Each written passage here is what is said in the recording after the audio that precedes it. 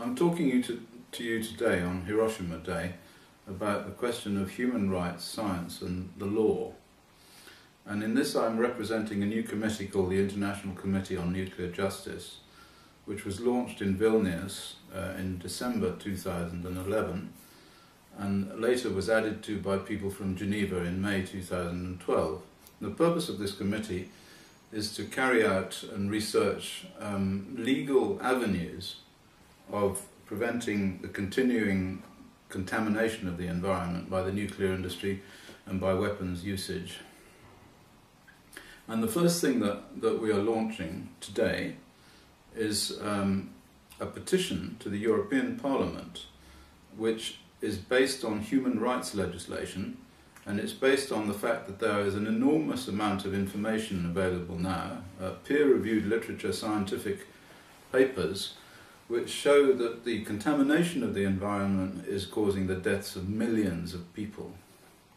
And up till now, nobody has really thought about ways in which they can legally stop the nuclear industry and the um, military from continuing to contaminate the environment because whenever they try to do this, activists and NGOs, and there are enough of those, and I'm talking to you all now, they get blocked by the argument that the risk model, the International Commission on Radiological Protection risk model, shows that these contaminations are safe and cannot possibly harm anybody.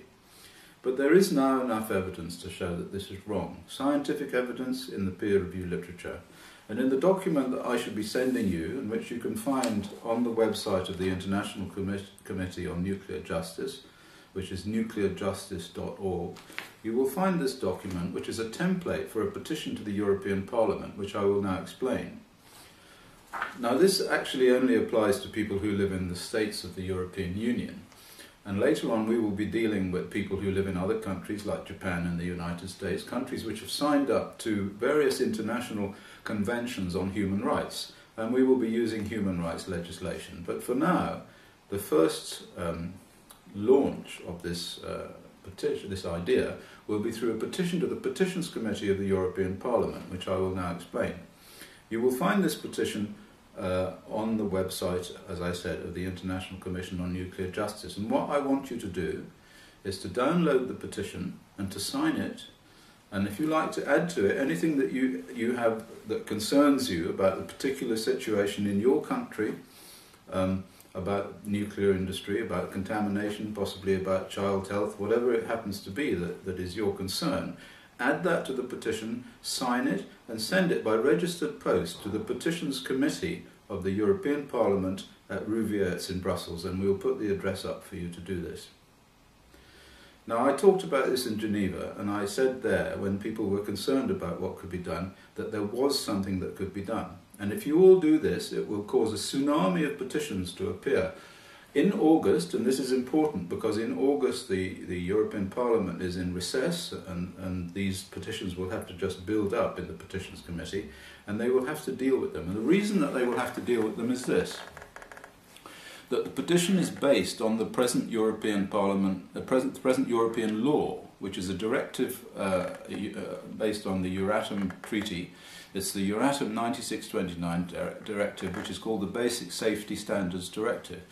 Inside this directive is a clause, and I'll show you the clause here, it's, it's written down, uh, under, under Chapter 5, Justification and Regulatory Control of Practices, and we're talking about practices involving the release of radioactivity to the environment. Article 20 says, Existing types of practices shall be reviewed as to their justification whenever new and important evidence about their efficacy or potential consequences is acquired.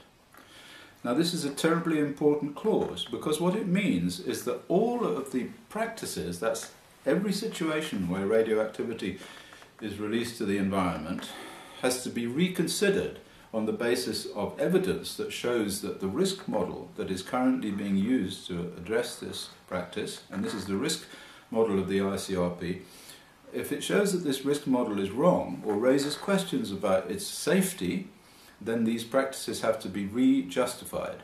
And this petition will force that to come about because it is law. So it's not just a question of complaining to your MP, it's not just a question of writing something saying, oh, I don't like this on some vast tsunami of postcards that go to somebody who just puts them in the bin. This is a legal process which has to be dealt with, and they will have to deal with it. But only if you send the petition along. Now, let me explain what this is about.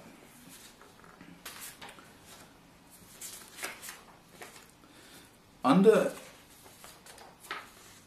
under um, international human rights agreements and legislations, there are various clauses which say that each person is entitled to live in an environment which is safe for their health.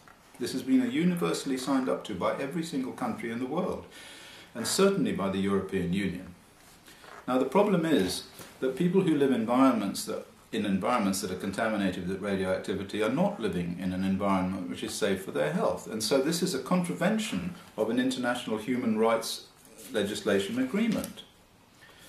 And the only reason that they can say this is the, the, this is the European Union, the Commission, in this particular case, that these things are harmless, is they can say that the International Commission on Radiological Protection says that, that, that, these, that the doses that are associated with these exposures are too low to cause any effects.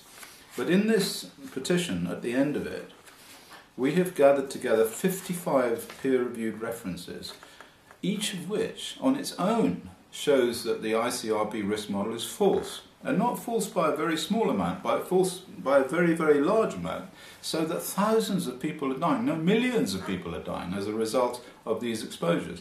People living along the shores of the Baltic Sea, people who are living along the shores of the Irish Sea, children who are leaving, living near nuclear installations. There's a long, long list. People in Iraq that have been exposed to radioactivity from uranium, I'll just go through a few of these because I don't want to hold you too long. The most important thing is this take home message. You must get this petition, download it, and sign it and send it to the European Parliament at the address that we'll give you. So I'll just go briefly through some of the evidences, and they're all backed up by peer reviewed studies. Firstly, there's childhood cancer near nuclear installations. Enormous number of studies have shown that if you live within five kilometres of a nuclear power station, your children have double the risk of getting childhood leukemia. There's no question about this. The radiation causes the childhood leukemia, and yet the ICRP risk model says that this is impossible.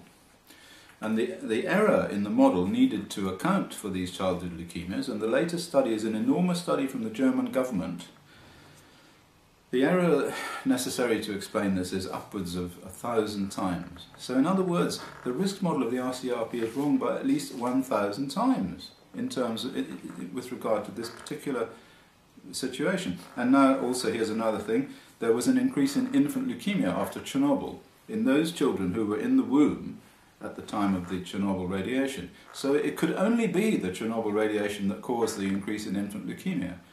And the, these uh, uh, studies were done in a number of different epidemiological settings in Greece, in Germany, in the United Kingdom, in the United States, in Belarus. Wherever anybody looked, they found increases in infant leukemia uh, in these children who were in the womb. And that shows an error in the ICRP risk model of about 400 times. Then there was a study in northern Sweden by Martin Tondel, uh, that showed that people who lived in areas contaminated with cesium from Chernobyl had, had cancer rates proportional to the amount of contamination. This was published in the peer review literature. It's there for anyone to see. It shows that the error in the ICRP risk model is about 600 times. A very important study now is one by Hagen Scherb in Germany, and he looked at, the, and his colleague Kristina Voigt looked at the sex ratio, that's the ratio of boys to girls, who were born after uh, accidents like Chernobyl after the weapons testing fallout and living near nuclear power stations and he found that there was a perturbation in the sex ratio, quite clear, highly statistically significant, published in the peer review literature. It means that millions of children have died. Millions of children have died as a result of these exposures to, to, to, to ionizing radiation. Shows another, that shows a, problem with the ICRP risk model of hundreds of times, thousands of times. In fact, the ICRP risk model doesn't even consider the effects on, on, on infant mortality and, ch and children. So, we have cancer and, and leukemia, lymphoma, and heart disease in uranium workers. Very recent study by Irina Guseva-Canu, in, in, who works for the French nuclear industry, incidentally, So not somebody from the, if you like, the lefty side, somebody who works for the industry, very clever epidemiologist, has studied uranium workers and shown that they have a huge increase in heart, heart disease effects and in cancer, in leukemia and lymphoma. This shows that the ICRP risk model is out by a factor of 2,400 times in the peer review literature. Various other things. I won't go through all of them, they're all on the end of this report. I'll just finally mention, of course, the work done by my colleague Alexei Yablokov, who collected together all of the information that came out from the ex-Soviet Union territories contaminated by Chernobyl and showed that there were enormous health disaster effects in, in Belarus, in uh, Ukraine, in, in those parts of the Russian Federation that were exposed to the Chernobyl effects in Bryansk. There is just so much evidence, we have an embarrassment of riches, but the problem is that nobody will look at it. Well, we're going to force them to look at it by sending this petition to the European Parliament Petitions Committee with all of its 55 references, and you are going to help us to do this by contacting us at info at nuclearjustice.org, uh, or else just going to the website and downloading the, the uh, information. And I hope that you will contact us and tell us that you're doing it. So we'll have a sort of a list of the number of people who have helped us in this way. For the first time,